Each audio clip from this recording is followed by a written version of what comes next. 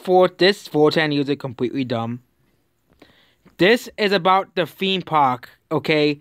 Super Nintendo World is the theme park currently in development by Nintendo and Think Universal in Japan and USA. The USA version may not be coming out for like a few years because of the virus, but yep, this guy is coming today today. Nintendo directed drought is over. The week's so real. What games are you expecting? I played so for Breath of the Wild 2 and Metroid Prime 4, but it's just happy to get some new video. okay, like I said, Nintendo Switch has games on like your pathetic consoles. Feeling so smug right now. Well, if you look at PS5, they really don't really have much games, but PS5 just came out though.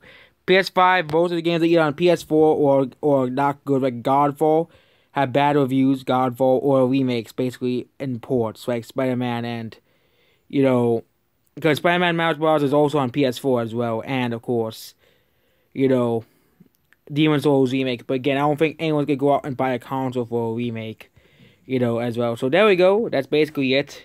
Goodbye.